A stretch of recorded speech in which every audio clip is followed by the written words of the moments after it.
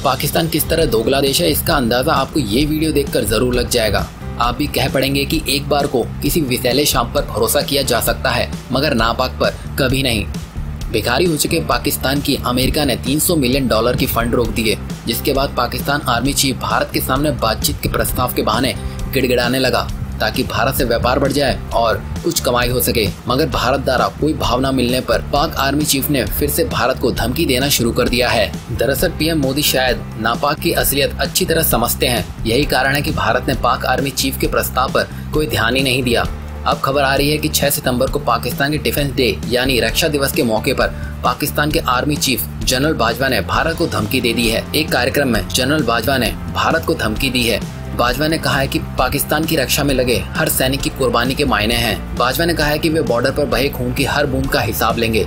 सन 1965 में भारत और पाकिस्तान के बीच युद्ध में पाकिस्तान को शिकस्त का सामना करना पड़ा था। पाक आज तक इस बात को नहीं मानता है कि उसे इस युद्ध में हार मिली थी। 6 सितंबर यानी जिस दिन युद्ध खत्म हुआ था उस मौके को पाकिस्तान में डिफेंस डे के तौर पर मनाते हैं, लेकिन साल 2014 के बाद से इस दिन को शहीद दिवस के तौर पर मनाने लगे हैं। रावलपिंडी में सेना के हेडक्वार्टर पर 6 सितंबर को एक कार्यक्रम आयोजित किया गया था।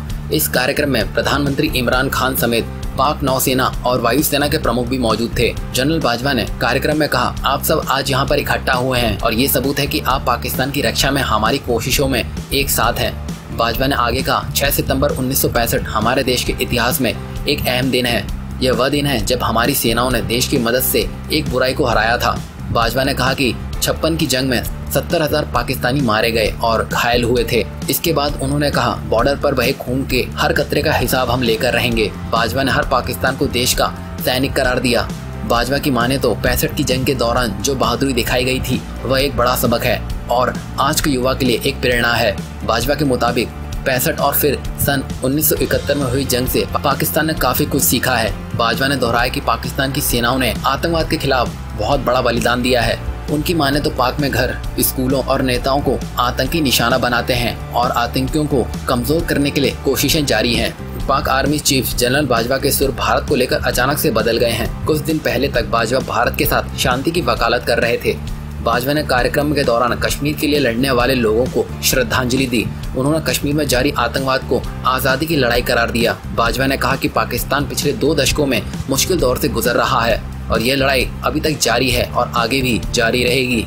यानी कुल मिलाकर देखा जाए तो पीएम मोदी पाकिस्तान की नस नस से वाकिफ हैं और इसलिए पाकिस्तान को एक ठेले के भी सहायता नहीं दी। शायद वो जानते हैं कि रंग बदलने में पाकिस्तान ने ग्रेड को भी पीछे छोड़ा हुआ है। ये अनुमान सच भी साबित हुआ। भारत के सामने अपनी दाल गलती ना देखकर नापाक ने फिर से अपनी औकात दिखा दी है। दोस्तों, आपको वीडियो पसंद आया हो तो लाइक और शेयर करें। आगे ऐसी खास खबर देखने के लिए मेरे साथ बने रहिए। जय हिंद, जय भारत।